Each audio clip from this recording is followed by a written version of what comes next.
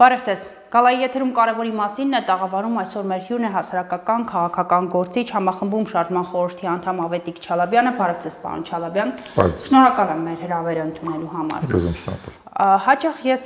հետևում եմ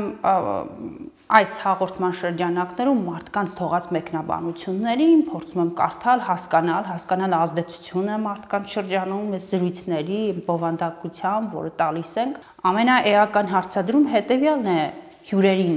որոնք մեր տաղավարում են լինում, լավ ելքը ո՞րն է, ելք առաջարկեք, ասեք ինչ անել։ Խոսում եք, բայց ելքը չկա։ Անդիմադիր գործիչներին ուղված քննադատություն հաճախ հետեւյալն է, որ չի աշխատում են բանաձևը Նիկոլը Նիկոլը հերանա մենք կանք չի աշխատում այդ տարբերակը լուծում առաջարկեք ճանապարհային քարտեզ առաջարկեք ու իսկապես ելք առաջարկեք որին այլընտրանքի սпасող մեծ ամասնությունը կգնա դեպի այդ ճանապարով։ Ես կուզեմ մեր զրույցը այսօր այդ հարցից սկսենք։ Կա արդյոք ելք, կա արդյոք ճանապարհային քարտեզ, ինչպես փոխել իրավիճակը, որովհետև թե ընդդիմադիր դաշտում, թե հասարակական քաղաքական շրջանակներում, թե հայ սովորական քաղաքացին գիտի, որ իրավիճակը վատ է, բայց ինչպես դուրս գալ այդ իրավիճակից, այդ հարցի պատասխանը չի ձևակերպվում։ Հրաշալի, ես կարծում եմ դուք ամենակարևոր հարցն եք տալիս։ Այդ հարցի պատասխանը արագ չի։ Այսինքն մեզ չի, որ ես հիմա կախարդական փայտիկը կհանեմ, այդ ելքը ցույց կտամ ու միանգամից կարող ենք այդ ելքի հետևը գնանք, բայց լուծումը իհարկե կա։ Եվ այդ լուծումը բաղկացած է մի քանի բաղադրիչներից։ Նախ եկեք հասկանանք ֆունդամենտալ որն է խնդիրը, որը մենք ուզում ենք լուծենք, չէ՞, որովհետև մենք ի վերջո կանգնած ենք գլութենական խնդիրների եւ մարտահրավերների առաջ, որոնք պատահական չեն առաջացել։ Նրանց մի մասը իրանց ենթադրենք նախապատմությամբ գնում են 150 տարի առաջ։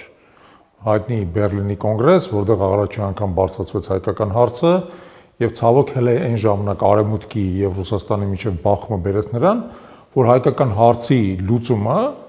ըստ էության անտեր մնաց։ Ռուսաստանը իր լուծումները առաջարկում, Արևմուտքը այդ լուծմանը հակադրվեց, հայկական հարցի լուծումը անտեր մնաց, արդյունքում Օսմանյան կայսրության հայկական բնակչությունը համարյա գլխովին բնաջնջվեց։ Համիձայն ջարդերով հետո էլ մեծ ցեղասպանությամբ հայկական, հա։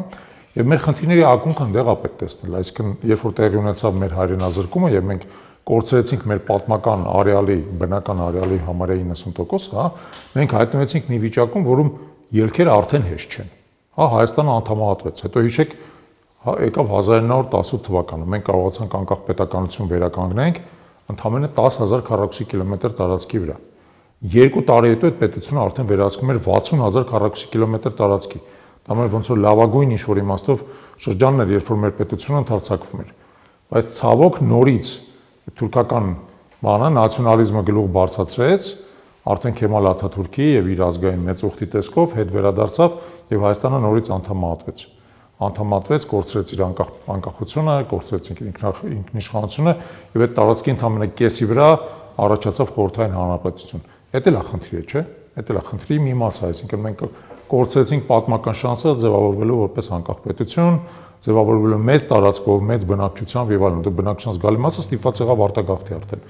Հայաստանից։ Հիմա երբ որ մենք նորից անկախություն ձեռք բերեցինք 1991 թվականին, պետք է հասկանալ, որ մենք ձեռք ենք բերել անկախություն մի տարածքի վրա, որը ինքնին խնդրահարույց տարածք է։ Առաջին Արցախը տարածքի մեջ չէր։ Չէ՞, որտեղ հայաբնակ 90%-ով հայաբնակ տարածքը այդ տարածքի մեջ չէր։ Երկրորդը ծովի վրա մենք ելք չունենք։ Երրորդը Պարսկաստանից մեզ ըստեյության կտրում է Նախիջևանը եւ միակ ճանապարհը դեպի Պարսկաստան գնում է սարերով, շատ բարդ տարածքով, ինչ որ մի հատ հատված Ադրբեջանի հետ սահմանով եւ այլն եւ այլն։ Այն դեպքում եթե օրինակ այդ ճանապարհը Նախիջևանով անցնել, երկու անգամ կարճանում է, պատկերացնեք, երկու անգամ կարճանում է ու Արաքսի ափով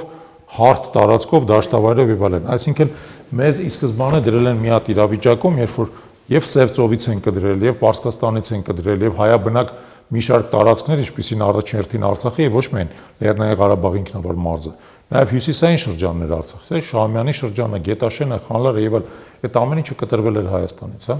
Եվ մենք ծանր ժառանգություն ենք ստացել այդ իմաստով։ Մեր ելքը པարզ չի, որովհետև հենց այդ է բարթացնում մեր ելքը, որովհետև մի կողմից Ադրբեջանն է, որը ոչ միայն ուզում է հիմա Արցախը ամբողջովին վերացնել, այլև ուզում է նաև Հայաստանի Հանրապետությունը անդամահատի, Մյուս կողմից Թուրքիան, որը գուցե բացահայտ ռազմական ագրեսիա մեր նկատմամբ չի իրականացնում, բայց օգնում է Ադրբեջանին այդ ագրեսիան իրականացնելու եւ պարտադիր չի թուրք զինվորը կրվի, եթե իրանց բայրակտարն է կրվում, որ առանց որևէ զինվորի կարա կրվի, կամ ասենք Թուրքիան բերում է վարձկաններ ալեցնում այնտեղ, որոնք որպես թնդանոթի միս են մեր դեմ օգտագործում, բայց էլի հայի արուն են թափում։ Մյուս կողմից աշխարհակահաղական այն ծանր իրավիճակը, որում ենք։ Այո, նաև այդ աշխարհակահաղական իրավիճակը, որովհետև տեսեք,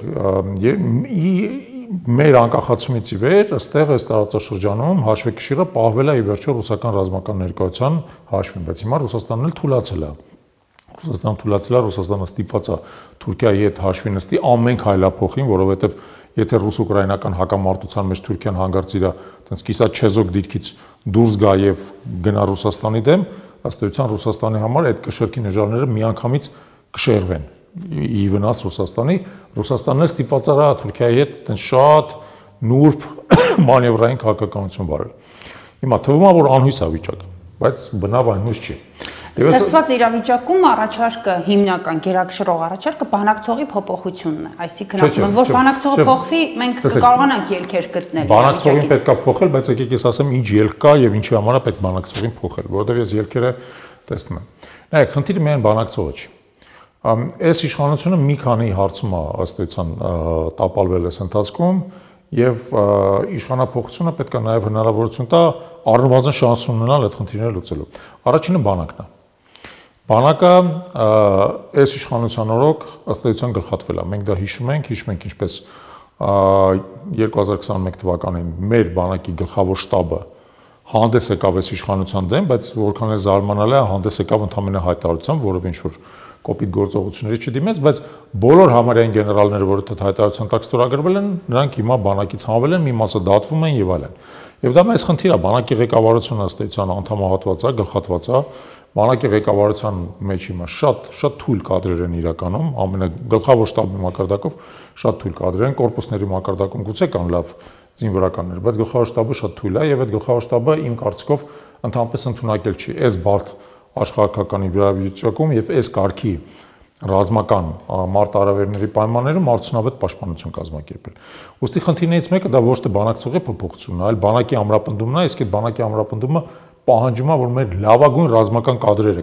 կապիտանից սկսած մինչև գեներալ գնդապետ հետ վերադարձնենք բանակ, որը այս իշխանության օրոք հնարավոր չի, բայց այդպիսի հնարավորություն կարող է բացվի, եթե համապատասխան իշխանություն լինի, որը բանակի այսպես ասած արժեքը գիտի եւ բանակում բարձր հեղինակություն եւ հարգ ունի։ Դա մեկ, երկրորդը։ Մենք 2020 թվականի պատերազմը պարտվել ենք ոչ միայն բանակի մակարդակում, մենք որպես պետություն ենք պարտվել։ Եվ որպես պետություն ենք պարտվել օրինակ, որովհետև չենք կարողացել մոբիլիզացիա կազմակերպենք։ Պատերազմի պայմաններում մոբիլիզացիան առանցքային խնդիր է։ Դուք պետք է կարողանաք անընդհատ ձեր բանակը համալրեք, որտեղ բանակը կորուստներ է կրում։ Պատերազմում կներեք, մեղրուշակար չեն բաժանում, բանակ ունի եւ անշրջելի կորուստներ, զոհեր, այսինքն եւ սանիտարական կորուստներ, այսպես կոչված, որ մարդիկ վիրավորվում են, 6 ամիսներ է պետք, որպեսզի իրանք վերականգնեն դուք պետք է կարողանաք անընդհատ իրենց համալրեք։ Այդ խնդիրը բացարձակ տապալված է եղել 44 օրյա պատերազմի ընթացքում, դա բանակի մեղք չի, դա պատերազմ պետության մեղքն է, որ նա չի կարողացել մարդկանց նախապես պատրաստի։ Դա ասում են 11000 դասալիկ կար փախան։ Դա սուտ է։ Դա սուտ է, եւ դուք հիշում եք, որ դատախազությունը դա հերքեց։ Պարզվեց, որ դասալուկության գործերով ընդամենը ասում է 786 անց։ Այդքան գործ բացվել է, բայց պարզվել է, որ ճնշող մեծամասնությունը դա դասալուկության դեպքեր չեն իրականում վերագրվել է դա, բայց ուտա 786 անձը դասալիկության գործով անցնում եւ ընդամենը 140 քանի անձի համար է, որ գործը գնացել է դատարան, դրանցից էլ ընդամենը 80 անձնա, որը դատապարտվել է։ Ոստի 11000 բան դա հայտնի անձի հիվանդ երևակայության արդյունքն է, չեմ ուզում իր անունը նշեմ այստեղ։ Հիմա տեսեք,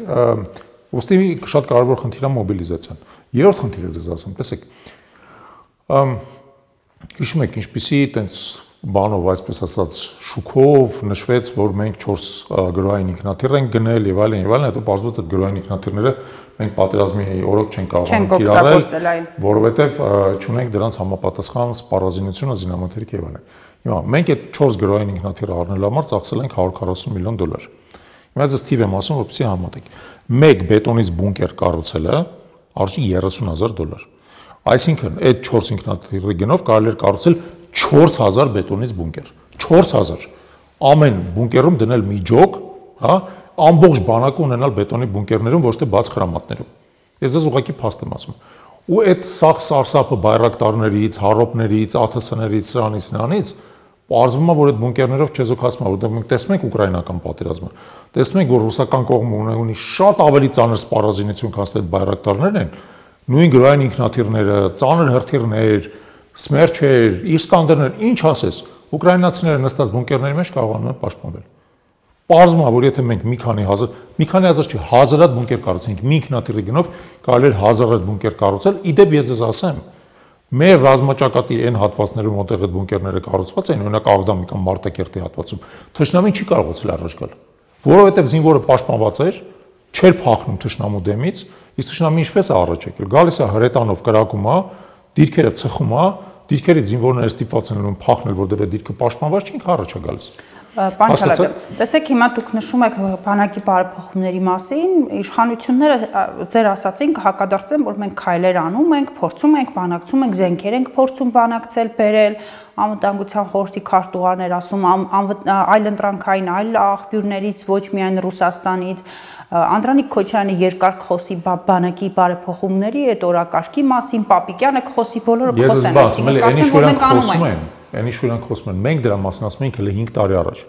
Իրանք ոնց որ ված աշակերտ են, հասկանում եք, 5 տարի ուշացումով սկսել են հասկանալ այն ինչ որ իրանք ասվել է դեռևս 5 տարի առաջ եւ անում են միևնույնն է շատ վատ շատ վատ։ Իմիջիայից ես ես ասեմ հան արավոն արժանին մատուցելու։ Լավ է որ սկսել են գոնե հիմա անել։ Լավ է որ սկսել են գոնե հիմա անել։ Ես բարբեր այցելում եմ մեր կորպուսների եւ այլն հանդիպում եմ նաեւ տեղերում հրամանատարների հետ ինչ որ իսկապես առանջատած սկսել եմ տեսնել, բայց առանջատածին զուգահեռ օրինակ հետընթացի մասն եմ ձեզ ասեմ։ Ենթադրենք խնդիր կա հիմա այդ ատեստավորման հարցն մցրել, չէ՞, զինվորականների։ Խաղաղ պայմաններում գուցե կարելի է ունենալ ատեստավորում, հա, որովհետև դուք պետք է իսկապես լավ զինվորականին տարբերեք ված զինվորականից, լավին ավելի շատ վարձատրեք, խրախուսեք եւ այլն։ Բայց հիմա այս իրավիճակում, քանի որ այդ ամեն ինչը հում է, խնդիրները մինչև վերջ մտածած չեն եւ այլն, ատեստարումը բերման է, որ բազմաթիվ զինվորականներ ուղղակի դումը գրում են, դուրս են գալիս բանակից, հեռանում են։ Առավել եւս, որ քանի որ այս իշխանությունը ըստ էության դա ոստիկանական ուժի վրա հիմնված իշխանություն է, ժողովրդի աջակցությունը վաղուց կորցրած ոստիկանական ուժի վրա հիմնված իշխանություն։ Ստիպված ոստիկաններին է լավ վճարում հիմա, ոչ թե բանակին։ Մարդիկ տարածություն ձեզ ասում եմ, հարյուրավոր եւ հազարավոր պայմանագրային զինծառայողներ դուրս են գալիս բանակից գնում ընդունվում են ոստիկանություն, որտեղ ոստիկանություն վարձատրությունը ավելի բարձր է, ոստիկանությունի տարբերություն բանակի այս իշխանության սիրելին է, ոստիկանության աշխատակը ավելի անվտանգ է, բոլոր դեպքերում արկեր գլխին չի ընկնում։ Աբսուրդ է, չէ՞, հասկանում եք, որ ասում եք ինչ կանեք, այ կվերցնեմ կշրջեմ։ Կվերցնեմ կշրջեմ ոստիկանության մի շարք կազմավորումներ, այդ կարմիր բերետները, որոնք հիմա բան են անում։ Ես իրանց կուղարկեմ սահմանը պահելու, ով չի ուզում թե դուրս գա։ Բայց նրանց մեջ շատ են շատ կան մարդիկ, որ եթե իրանց ճիշտ մոտիվացիան տաս, կգնան սահման պահելու։ Ես ես ընդհանրապես ասեմ, մենք այդ Ադրբեջանից Ադրբեջանից մի հատ ես ինչ ենք սարքել, ինչ որ մի հատ տենց ամեհի գազան, հա, ուրեմն եկեք թվերով խոսանք, հա, Ադրբեջանի բանակը 100.000 մարդ է, Հայաստանի բանակը 50000 մարդ է, Արցախում էլ մոտավորապես 10000-անոց բանակ հայկական կանգնած։ Այսինքն Ադրբեջանը մեզանից ավել է ընդամենը 60%-ով իր բանակը։ Իր ռազմական բյուջեն մեզանից ավել է ընդամենը 2 անգամ պահ է եղել ժամանակի նախորդ իշխանությունների ժամանակ, երբ 7 անգամ էր ավել։ Հիմա կներեք երկու անգամ ընդհանրապես ավել։ Եվ դուք գիտեք էլի, որ ասենք հարցակվող, պաշտպանվող հարաբերակցությունը սովորաբար պետք է 3-ին 1 լինի, որպեսզի հարցակվողը կարողանա առավելության հասնի։ Հիմա Ադրբեջանը ոչ զինվորով է առավել մեզանից 3-ին 1-ով, հա, ոչ իր ռազմական բյուջեով, ոչ իր սպառազինությամբ, ոչ մի բանով էլ առավել չի։ Մենակ մի բանով է առավել։ Մի բանով։ Իր գլխավոր հրամանատարով։ Իր գլխավոր հրամանատարը այդ սա համակարգը պահում է սարսափի մեջ։ Իսկ ըստ դուք ունեք մի հատ փալաս, որի տակ ամեն ինչ փլվել է, հասկանու՞մ։ Ընդ որում նաև այսպիսի ռոպագանդա, որ մենք թույլ ենք, մենք չենք կարող, մենք պարտվել ենք 44-օրյա պատերազմ եղել, մենք կորցրել ենք հաշվի առեք դե ֆակտո ստեղծված իրավիճակը։ Տեսեք, հաշվի ենք առնում։ Կորցրել ենք եւ այլն եւ այլն, այսինքն մյուս կողմից ունենք այդ ռոպագանդան, որ այո, մենք Հիմա եկեք խոսենք այդ ռոպագանդայի մասին, հա, եկեք խոսենք այդ պրոպ։ Նախ եւ առաջ տեսեք, Այո, պատերազմում պարտվել ենք, օբյեկտիվորեն պարտվել ենք։ բայց նախ պարտվել ենք ձեր ապաշնոր կառավարման արդյունքում, այդ մեկ։ Երկրորդը, կորցրածի զգալի մասը պատերազմի արդյունքում չի,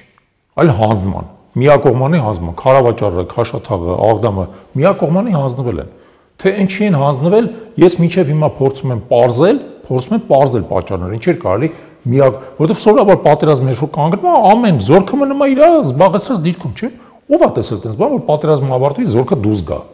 Դες բան չի հնարավոր չէ՞։ Բայց դա էլ երկրորդ հարցն է։ Եվ երրորդ հարցը ասեմ ձեզ հետեւյալը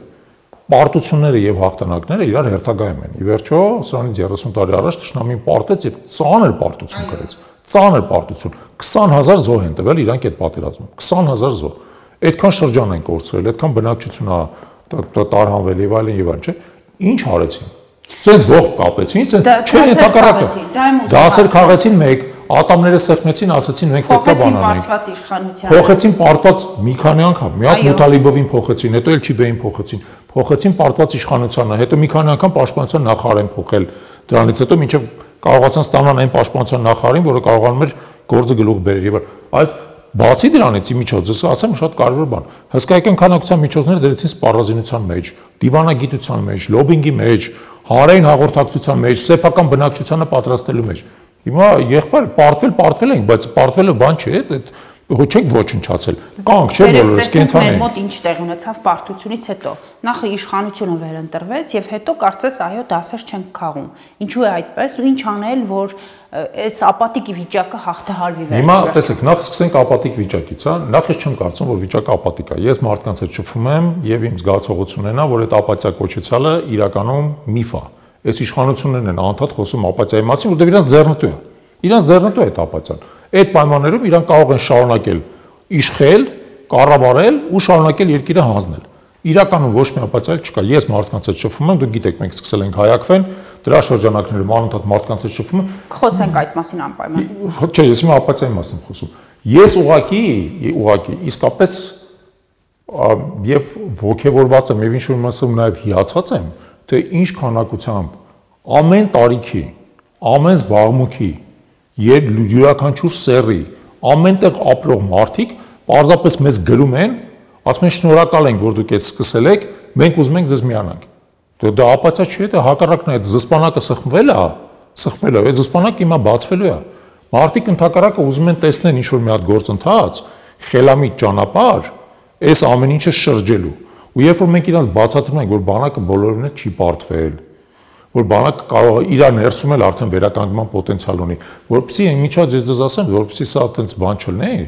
անպագորգոր խոսքեր չլինեն։ Այս տարի, այս տարի, նախ տեսնում ենք, որ Ադրբեջան չի արձակվում արդեն։ Չի արձակվում, խոսափում է եւ պատճառ կան չի արձակվում։ Այս տարի 3 մարտական բախում ա եղել, Եվ հակահարված են ստացել։ Երեք մարտական բախում ա եղել։ Մեկը եղել է Ստեփանակերտից Լիսագոր ճանապարհին, Խայփալուին, ինչ մեկ, որ մեր երեք ոստիկաններին իրանք դիմար գնդակարեցին։ Մեկ եղել է Տերգյուղի մոտ, երբ որ իրանք բարձացան մեր տարածքը մտան եւ մեր զինվորականները իրանք փորձեցին խանգարել, եւ մյուսն եղել է վերջերս Սոտկում։ Ուրեմն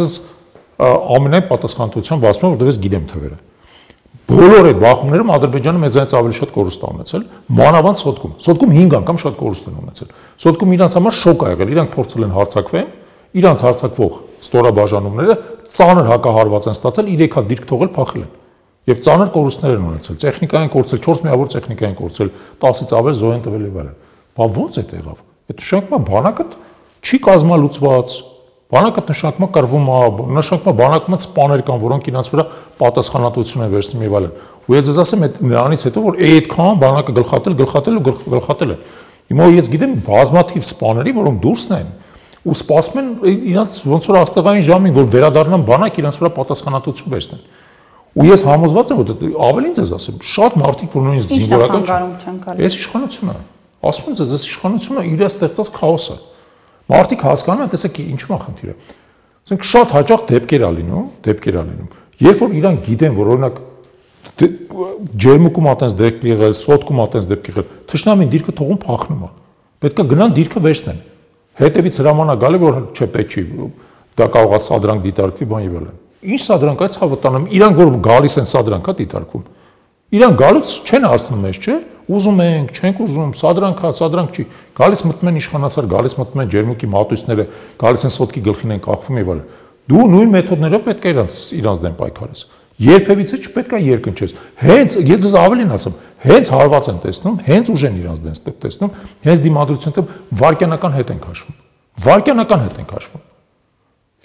Խոսենք Հայակվեի մասին, քաղաքացիական օրենսդրական նախաձեռնության մասին, ըստ էությունը կխնդրեմ բացատրեք, որպեսզի լսարանին པարզ դառնա նախաձեռնության մասին մանրամասներ ներկայացրեք եւ այն թե խոշոր հաշվով ինչ է դա, ինչ է այն տալու այն որքանով է այն արդյունավետ լինելու ըստ էության։ Հիմա հիմա տեսեք Մենք այսօր մի հատ պարադոքսալ իրավիճակում ենք հայտնվել, երբ որ գործող իշխանությունները երկիրը տանում են հանձնելու ճանապարհով։ Առնվազն համենայն դեպս իրանք դրա մասին են խոսում էլ որ ճանաչում ենք Արցախ Ադրբեջանի տարածքային ամբողջականությունը Արցախը մեջը, որի իրավունք իրանք բնավ չունեն,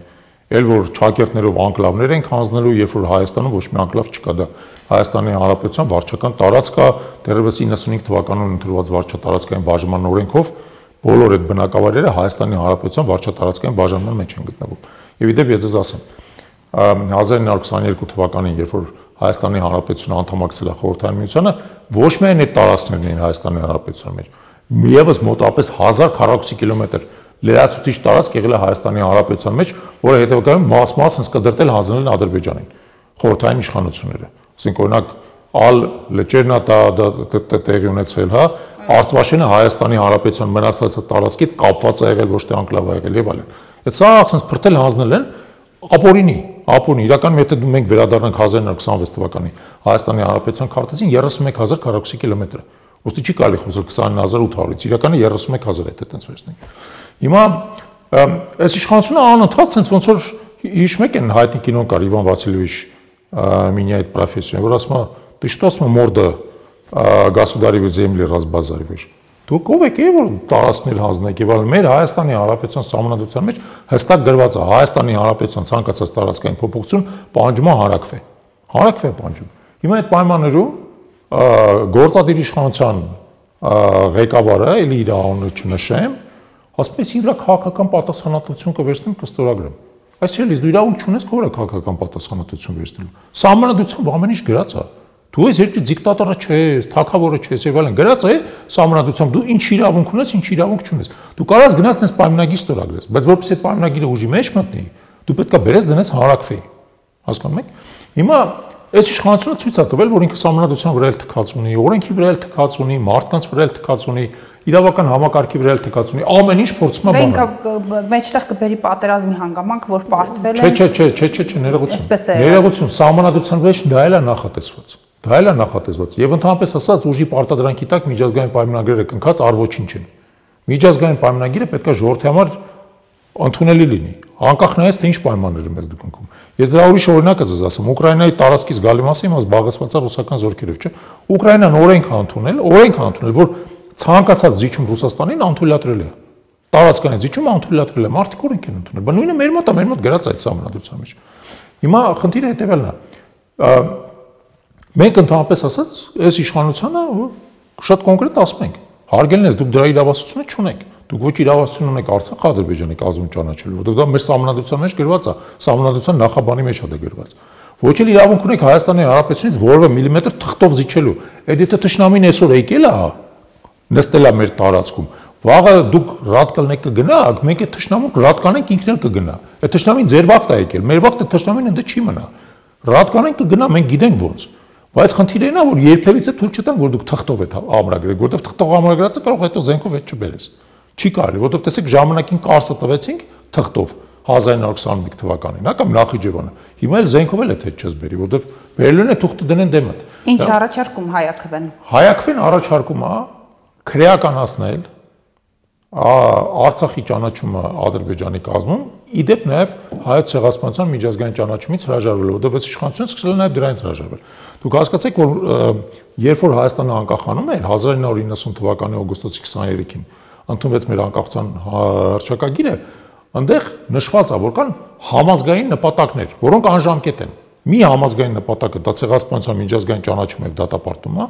Մյուս համազգային նպատակը, որը շեշտվել է մեր անկախության հռչակագրում, դա Հայաստանի Հանրապետության եւ Արցախի Հանրապետությունի վերամիավորումն է, միասնական հայկական պետության ձևավորումն է։ Դրանք անժամկետ են։ Դու պատր տեսեք, ես ես բացատրեմ, դա շատ կարևոր է։ Դու կարող ես պատերազմ պարտվես, բայց դու չպետք է դրանից հրաժարվես։ Դու դրանից չպետք է հրաժարվես։ Հավաքում են բավարար քանակի ստորագրություններ, եւ հետո շարունակեք ինչ է լինում։ Հիմա տեսեք, նախ պետքա process-ը մի քիչ ավելի մանրամասն բացատրել, որպեսզի մարդիկ հասկանան։ Սա բարձ ստորագրավակ չի։ Խնդիրը հետեւելն է, սա բազմափուլ հանրակրվե է։ Մեր հանրակրվեի մասին օրենքի 13-րդ հոդվածով նախատեսված է, որ քաղաքացիները իրավունք ունեն, իրավունք ունեն նախաձեռնություն հանդես բերել եւ հանրակրվե հրավիրել առանցքային հարցերով, պետության համար կարևոր հարցերով։ Բաղկացած է մի քանի փուլից։ Նախ քաղաքացիները ձևավորում են նախաձեռնող խումբ այդ նախաձեռնող խումբը դիմում է կենտրոնական ընտրական հանձնաժողովին։ Կենտրոնական ընտրական հանձնաժողովը գրանցում է նախաձեռնող խումբը եւ պաշտոնապես, պաշտոնապես իրան հնարավորություն է տալիս ստորագրավիկի միջոցով օրենքի նախագիծ ներկայացնել ազգային ժողով։ 60 օրենք մենք ստանալու եւ այդ ընթացքում պետք է հավաքենք 50000 եւ ավել ստորագրություններ քաղաքացիների եւ օրենքի նախագիծը, որը քրեականացնում Արցախի հանձնումը Ադրբեջանին ներկայացնենք ազգային ժողով։ Ազգային ժողովը ունի մեկ նստաշրջանի ընթացքում այդ օրենքը ընդունելու հնարավորություն։ Եթե նա կամ այդ օրենքը ընդունում է, կամ եթե նա այդ օրենքը չի ընդունում, նույն նախաձեռնող խումբը իրավունք ունի երկրորդ անգամ դիմել քաղաքացիներին, հավաքել 300.000 ստորագրություն եւ արդեն օրենքի ուժով շրջանցելով ազգային ժողովը այդ նախաձեռնությունը մտցնել հարակվեի այսինքն պահանջել որպեսի հանրակրվե տեղ ունենա։ Ոստի տեսեք, մարդիկ անդադ հարցում են, ասում են, այ հիմա Թակույ Թովմասյանը ստորագրությունները հավաքում ինչով է տարբերվել։ Սա ստորագրավակ չի։ Սա հանրակրվեի քաղաքացիական նախաձեռնությունն է, որի համար պարզապես քաղաքացիները պետք է եւս ստորագրեն, բայց պետք է իրանք իմանան, որ սրա վերջն արդյունքը Դա հարակվեա, որով արգելվում է Արցախի ճանաչումը Ադրբեջանի կազմում։ Գնաց խորհրդարան, խորհրդարանը դեմքը վիարկեց։ Ինչու՞ չեղավ։ Ենթադրում եմ Փաշինյանի խորհրդարանը Ես ձեզ մի բան ասեմ։ Տեսեք, ես ձեզ բացատրեմ, դուք Փաշինյանի մասին չափից դուրս լավ կարծիք ունեք։ Փաշինյանի հանրային աջակցությունը օրորի նվազում է։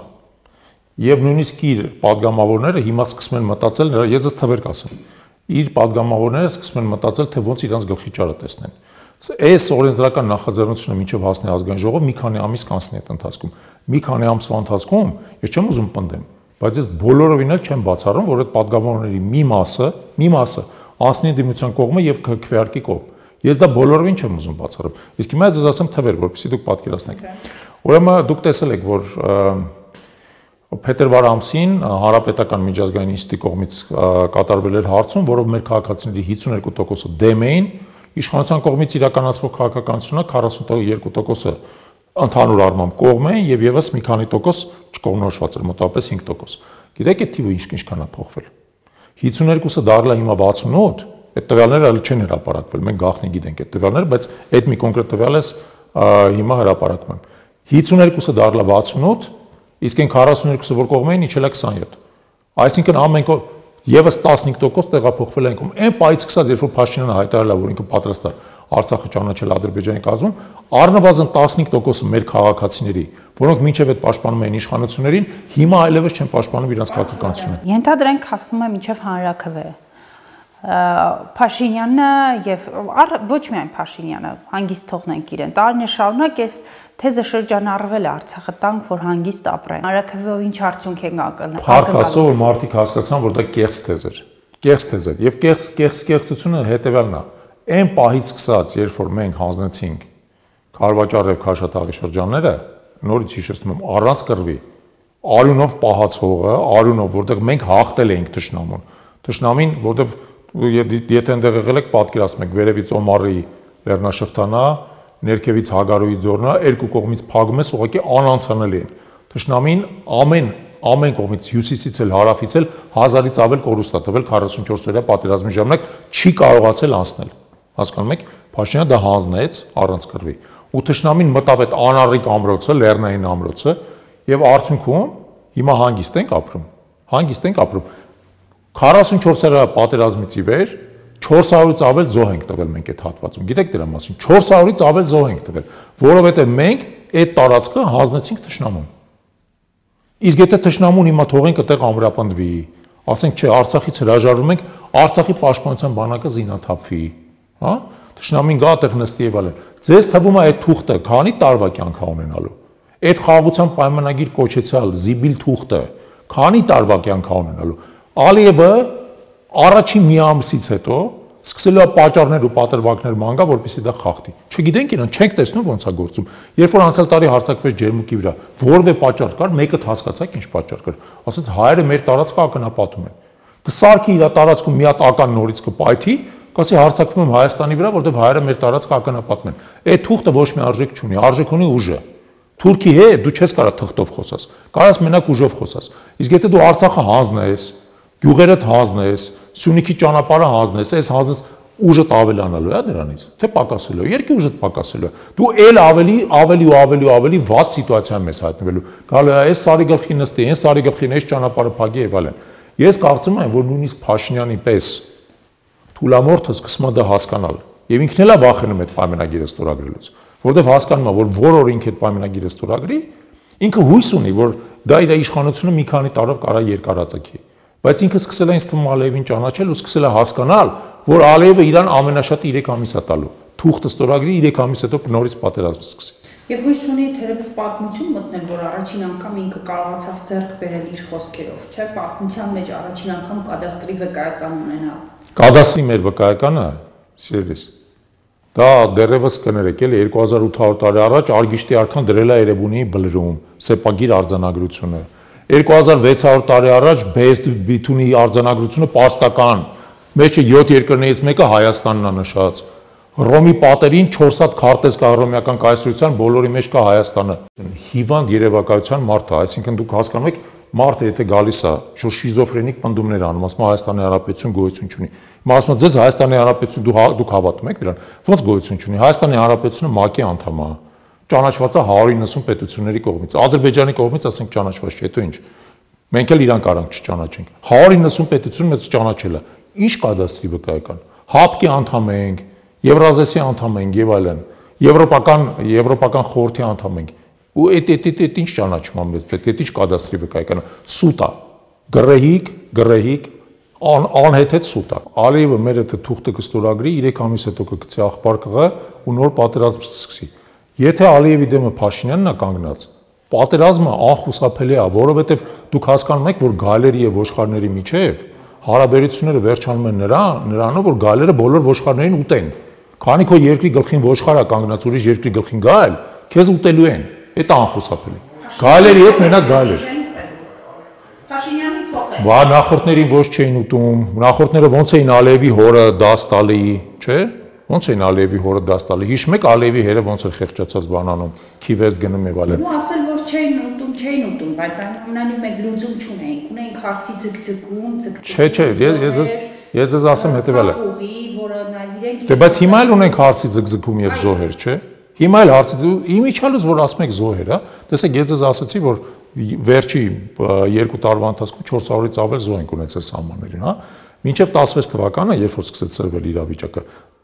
21-րդ դարից սկսած մինչև 16 թվական, այսինքն 15 տարվա ընթացքում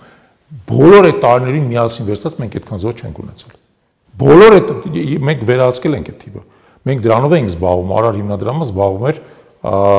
ոչ մարտական եւ մարտական պայմաններում զոհերի կրճատմամբ, հատուկ ծրագրեր են կարել բանակի հետ։ Տարեկան զոհերի թիվը միջին հաշվով 30-ից 35 մարդ էր։ Իսկ մարտական պայմաններում դրանց կեսը։ Այսինքն այդ բոլոր 15-16 տարիների ընթացքում մենք առավելագույնը ունեցել ենք 200 մարտական կորուստ։ Ու ընդհանրապես ասած, երևի նաև խոսքս դրանով ավարտեմ։ Հայտնի ռոմեական ասացված կա։ Ասում է, եթե ուզում ես խաղաղություն, պատրաստվիր պատերազմին։ Դա պարադոքս է որպես հնչյուն, բայց դա պարզ տրամաբանություն ունի։ Եթե դու ուզում ես խաղաղություն, թշնամին քեզանից պետքա վախենա։ Քանի թշնամին քեզանից չի վախենում, քեզ ոչխարի տեղա դնում ինքը անընդհատ քո հետ պատերազմելու է, ինչև քեզ չբնաջնջի։ Որովհետև հիշեք նաև մենք ինչ տարածաշրջանում ենք ապրում։ Այս տարածաշրջանը համատարած պատերազմների տարածաշրջան Այս միակ հո պատերազմը չի։ Իսրայելը կռվում է արաբների դեմ, Սիրիայի ներսում պատերազմ է, Իրաքի ներսում պատերազմ է, Թուրքիան կռվում է քրդերի դեմ։ Մենք մենք կռվում ենք ադրբեջանցիների դեմ, Իրանը կռվում է Իսրայելի դեմ։ Այս այս սաղ էս կեղծիքները, որ գիտեք ինչ եկեք մի բան հանձնենք, որ խաղաղություն ունի։ Ինչքան հանձնես, այնքան խաղաղությունը հեռանալու է։